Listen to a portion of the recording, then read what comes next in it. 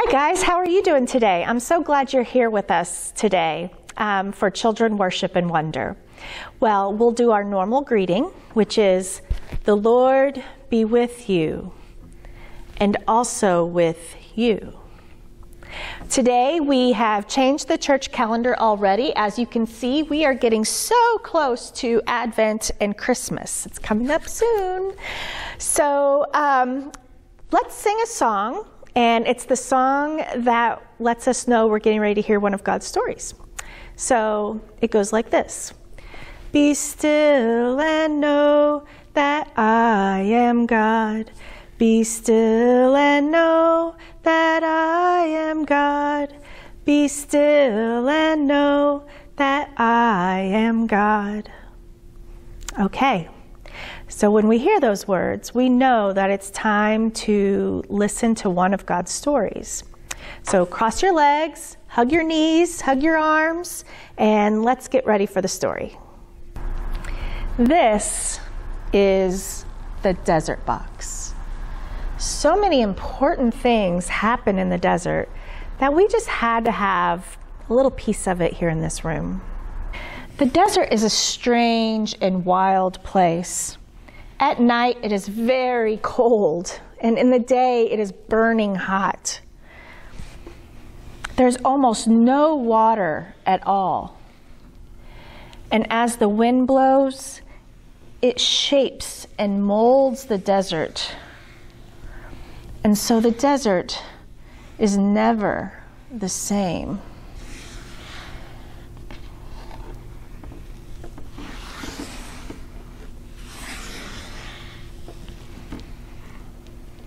The people of God were still in the desert.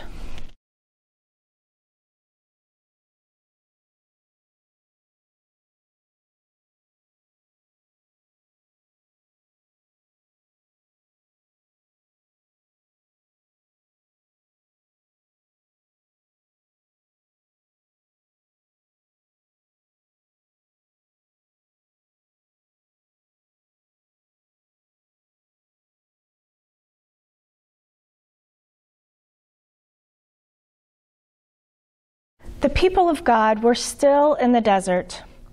They could have been living in the beautiful promised land with lots of food and water, but they were afraid. We cannot go into the promised land, they said. The people are giants. We are like little grasshoppers. They will kill us. So they had to wander in the desert.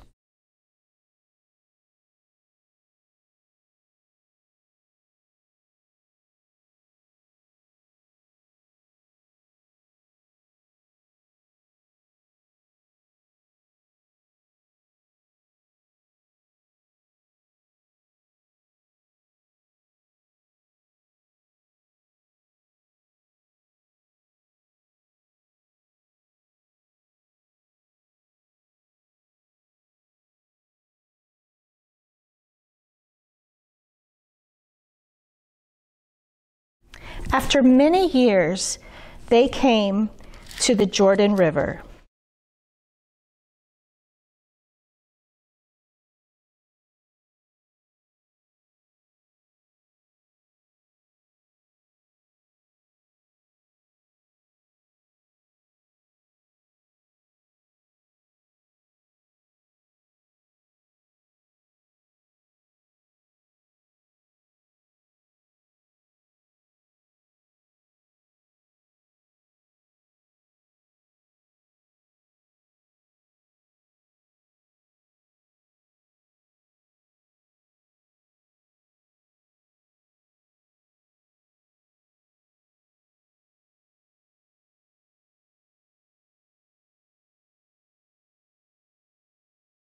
From there, they could see the promised land.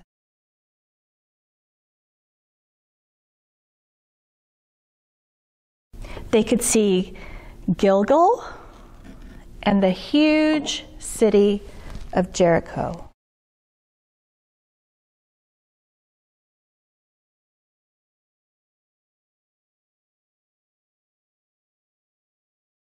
One day, God said to Joshua, Joshua, don't be afraid. Lead the people of God into the promised land. Be strong. Have courage. I will be with you wherever you go. Hmm.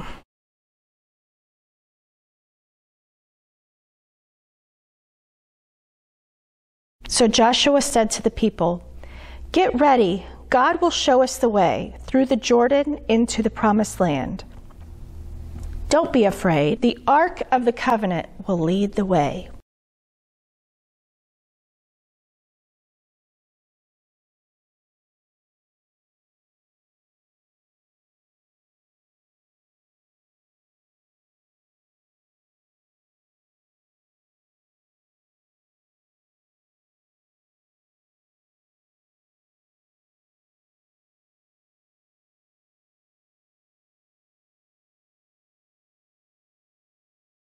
God rolled back the Jordan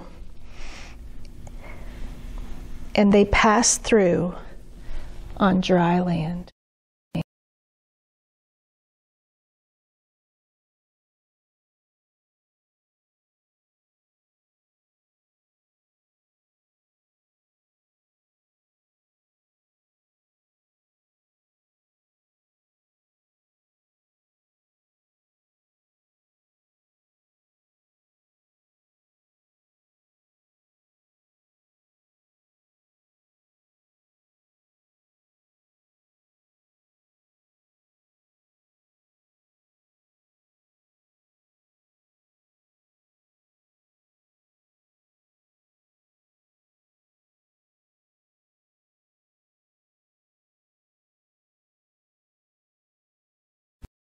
When all were through, God said, Take 12 stones from the middle of the Jordan.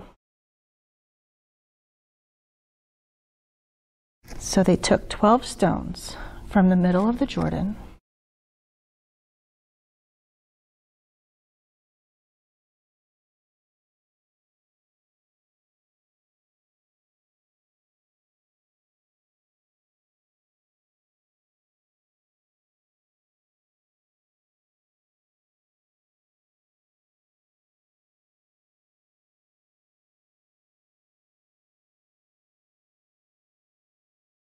Then Joshua said, When your children ask, What do these stones mean?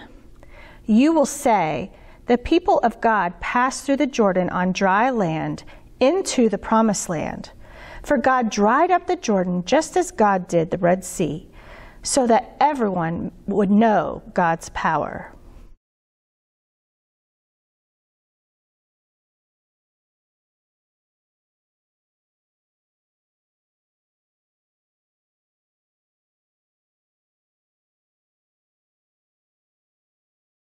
When the kings of the land heard what God had done, they were afraid, and the people of God began to live in the promised land.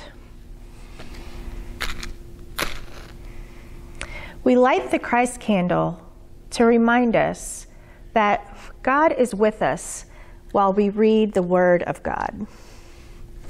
This is our Bible, and I'm going to read today's story from the Bible.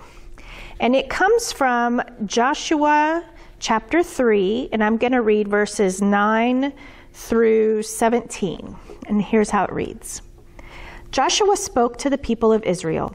He said, Come here, listen to what the Lord your God is saying.